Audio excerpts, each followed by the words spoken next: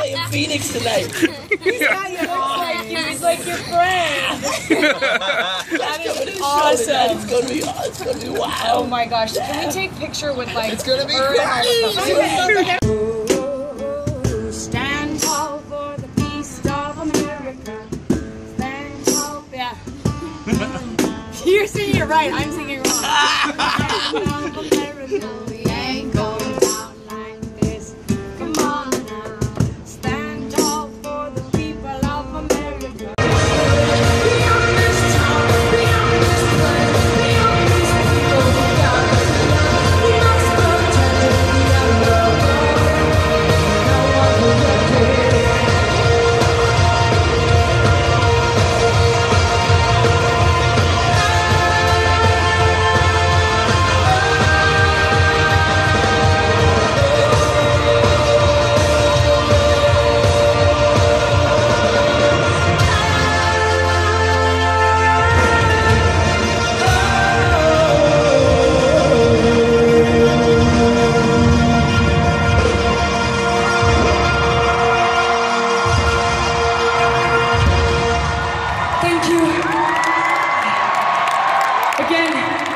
We are Nico Vega, and I would just like to take a second to say there's a very special girl here tonight. Her name is Isabella. She's nine years old, and this next song is one of her favorite songs, and I dedicate it to her. It's an old song, so I hope you will enjoy the rock vibe and get down with the groove of this next song, Beast.